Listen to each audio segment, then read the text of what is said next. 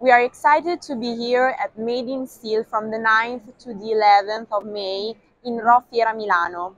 We will be glad to show you our bearing line and how our products can improve your machinery performance.